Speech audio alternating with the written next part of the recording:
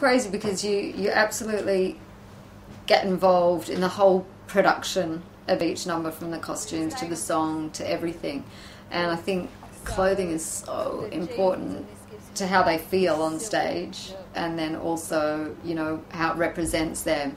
And it's the first few weeks are hard because you're still getting to know them. Like you might say oh i think you look great in that and they're like no i wouldn't wear that. So it's quite difficult and they're also learning that on camera costumes might look one way here in the dressing room but on camera it looks completely different so faye is amazing who does all the costumes she works I don't think she ever sleeps. She works day and night, day and night.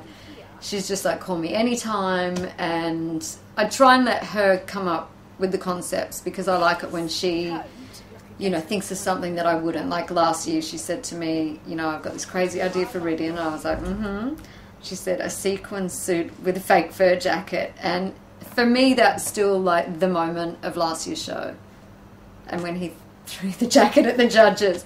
And so, you know, I really want her to create these moments again. So I kind of let her run wild. But if I, something's stuck in my head, I'll throw it in, definitely.